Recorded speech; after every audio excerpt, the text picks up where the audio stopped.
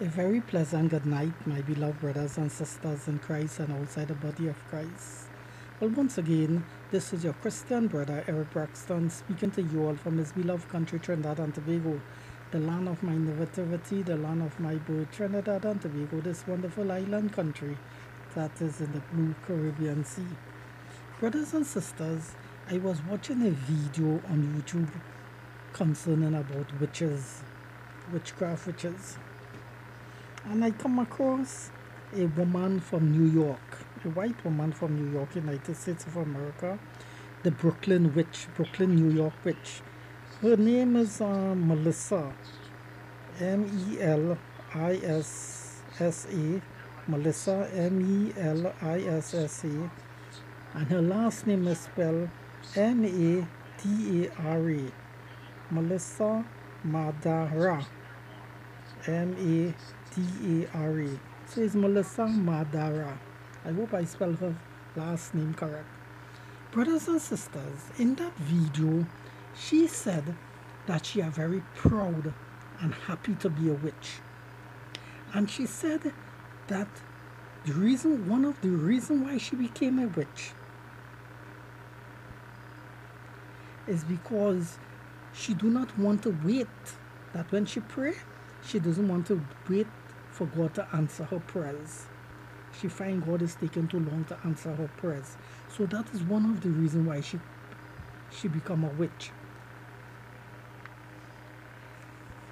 And I was very troubled by that statement. I just want to say to my dear sister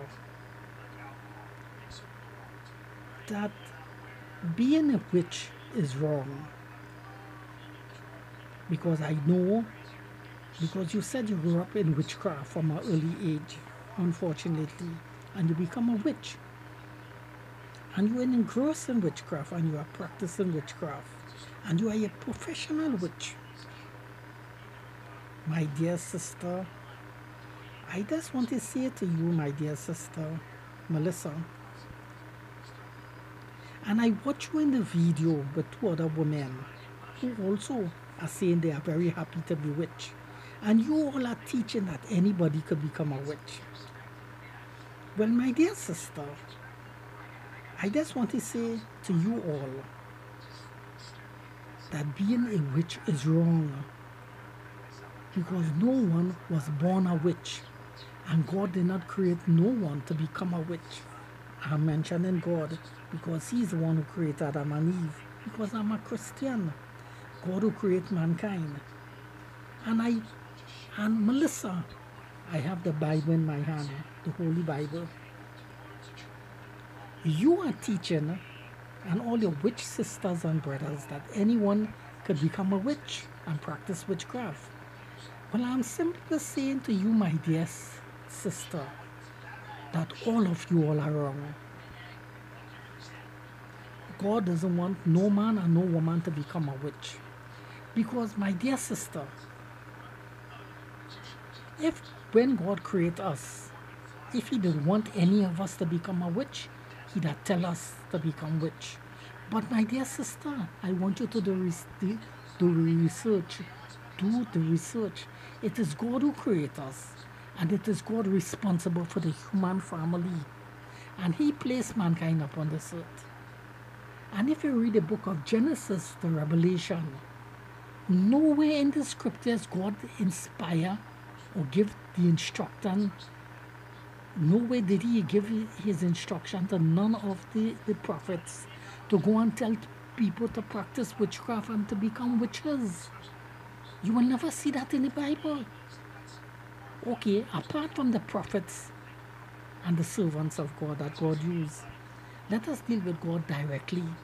There is no way in the Bible where God personally said, I want a man or a woman to become a witch my dear brother, my dear sister, Melissa, God is the highest authority because He is the one who created mankind.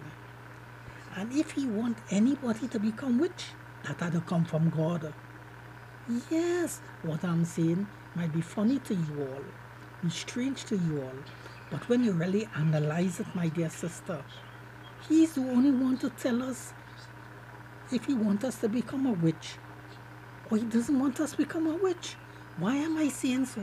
Because he's the one who created mankind. And that could only come from he, my dear sister. But you did not know that. You are ignorant to that fact. You are ignorant to that understanding. And since you are ignorant of that understanding, ignorant of that facts comprehension, therefore I, Eric Braxton, am teaching you that, my dear sister, and all of you all who are boasting to be a witch and postulating the philosophy that anybody become a will could become witch. All of you all are wrong. My dear sister, my dear sister, it is God who created mankind and He is responsible for the family. And He's the only one, He's the right one to tell us. If He wants us to become witch, He doesn't want us to become witch. Why am I saying that? Because He make us. My dear sister, my dear sister, can you answer the question? Many people, I said before, God doesn't want none of us to become a witch. How do I know that? Well, there's a text in the Old Testament. I, I, I know the text by heart, but um, they exactly tell you exactly where it is in the Old Testament, chapter and verse. I cannot do it right now. I have to look for it. But since I'm recording this video, I will quote it. God said, Thou shalt not suffer a witch to live. Because in the Old Testament, those who practice witchcraft, the children of Israel, was to stone also when they find them to stone them to death. Why am I saying that? Because God is against witchcraft. And I let me repeat myself against Melissa. There is no way in the Bible, no text in the Bible where God tell us that He want us to become witch. In the scriptures, you will find where God tell us, do not become a witch. God is against witchcraft. He doesn't want no man and no woman to become a witch. And who is saying that? The one who create mankind. So that is coming from the highest authority, which is God. He create man, and he say he doesn't want no man to become witch or practice witchcraft. But you, my dear sister, you are you are going against God and telling people that you are happy to be a witch and anybody could to become a witch. So which means you are going contrary against God. And I want, but you are ignorant of that facts. No one haven't taught you that, and therefore I am teaching you that in this video. And my dear sister, I know all the years you have practiced witchcraft, and you have a lot of clients and a lot of people are coming to you, and you have a lot of video on YouTube showing you, you are showing people that you are practicing witchcraft. But my dear sister, I want you to believe what the words of God, the Bible say. So I want you, my dear sister, to buy a Bible, the original King James Bible, in the shortest possible time and begin reading the words of God from Genesis to Revelation. You will discover and find out exactly what God say concerning witchcraft and concerning witch and how he dealt with witch, witch and witchcraft in the Old Testament. You will discover that for yourself. Don't take my word for it. But um, but I pray that if you do happen to see this video on the internet and the World Wide Web, that you will follow my instruction to the T to the letter, and that if any person who see this video, whether they know Melissa Marada personally, or schoolmate or friend or family, let her know that there's a video on YouTube concerning that that I've recorded about her. And, and tell her about the video. So she, she will go to the YouTube and, and look for the video. So she will see the, rec- the message that I've recorded to her personally and to all these people who practice in witches, witchcraft and boasting that they are happy to be a witch and encouraging people to be witch. All of you all are wrong, my dear brothers and sisters.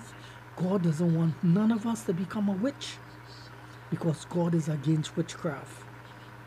And God, and God, if you read the scriptures from Genesis to Revelation, there is no way in the scriptures where God laid down any instruction for any man or any woman to become a witch.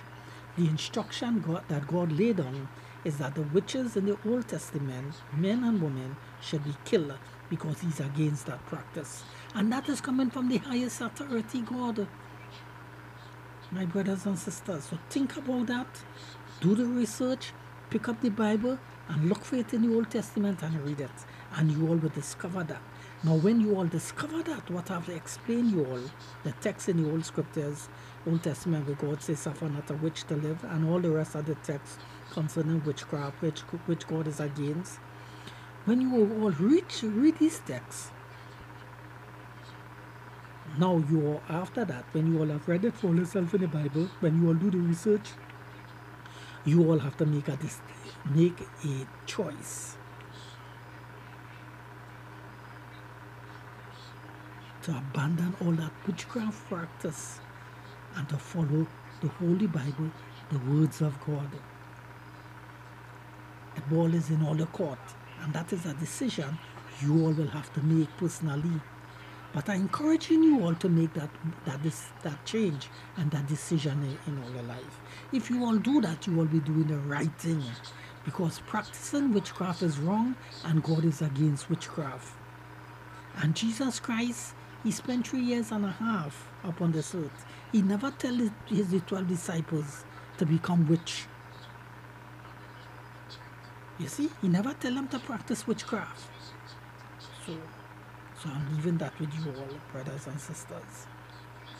I have much to say concerning that topic, but this is just part one in that series, my dear brothers and sisters. So I will end it on that on this note. I will hold up at this juncture my dear sister Melissa Marad, Marad, Marada. I will hold it up at this juncture at this time. May God help you to accept this message and make that right choice by accepting Christ as your Lord and Savior of your life and begin reading the Bible holy words of God from Genesis to Revelation. So you will come to that understanding that I'm sharing with you all concerning the words of God.